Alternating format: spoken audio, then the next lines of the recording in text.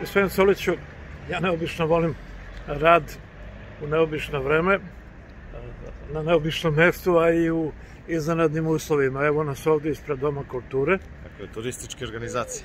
turističke organizacije i naravno prvo hvala. Hvala vama što ste pozvali. Brzo ćemo, s obzirom da je temperatura minus 4, i da vi baš niste na brzinu, tamo ste došli s posla, Jeste. ali dobro, kad je nešto bitno. E, Krenut ću od onoga da su se ljudi prijavljivali, da je sve to otišlo u Beograd i da je Beograd poslao informaciju da idu u Takovsku ulicu. Tako je.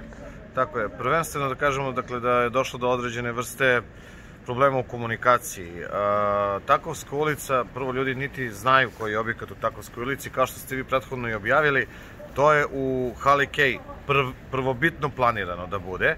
Međutim, onda smo ustanovili da je zatvoreni bazen mnogo bolji kako bi imali odvojen e, dolazak ljudi, odvojen olaz, odlazak ljudi, imamo tri zasebne prostorije za imunizaciju gde mogu paralelno da rade tri tima.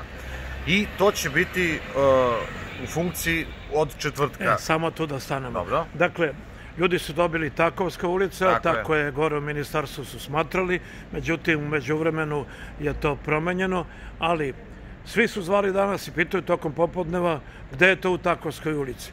I onda, e, zahvaljujući vama, vi ste mi to dali, a i Bojan Ranđelović mi je Da, da, javio. da. On je osoba koja je nadležna za imunizaciju. Tako, on me je javio da prvog dana ide, Prvi dan, znači sutra, imunizacija kreće u Domu zdravlja u tri, na tri lokacije. Prva lokacija je u opštoj bolnici u medicini rada, druga lokacija u ambulanti Tigar i treća lokacija je u Tijabarskoj ambulanti.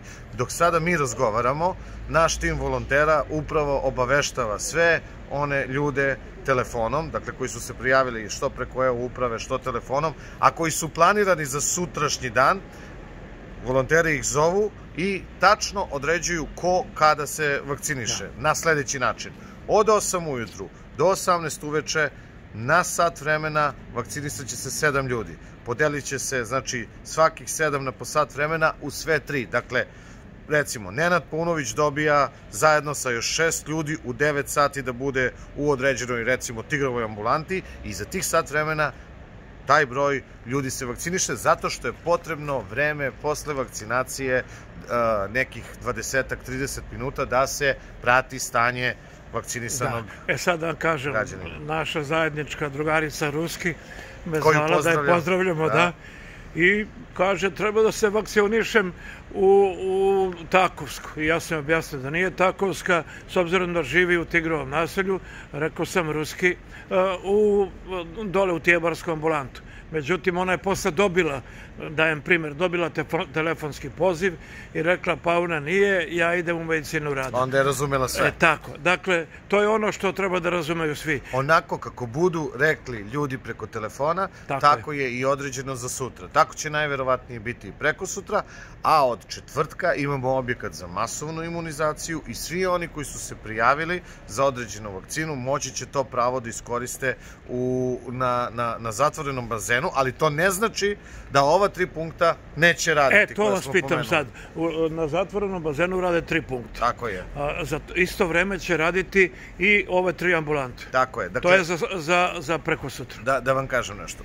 U svakom slučaju, pošto je imunizacija masovna, nešto novo za nas, mi ćemo donositi odluke onako kakva bude bila potreba Dobro. građana za imunizaciju. Ovo, ovim putem pozivam građane da se što više prijave i na taj način da možemo u kraćem roku sve to da organizujemo. Koliko bude bilo potrebno ljudi, toliko će ljudi biti na medicinskog osoblja na terenu i raditi. Svo raspoloživo medicinsko osoblje ćemo staviti u tu svrhu koja je naravno određena za to i ja se nadam da e, ćemo mi od e, države dobijati spiskove i sutra i preko sutra. U zavisnosti od dužine tih spiskova, odnosno količine ljudi, količine broja ljudi koji treba da se vakcinišu, mi ćemo organizovati ovaj, i punktove. I naravno o tome obaveštavati medije istog trenutka. Vanredna je situacija u smislu ovaj, imunizacije, moramo tako da se ponašamo.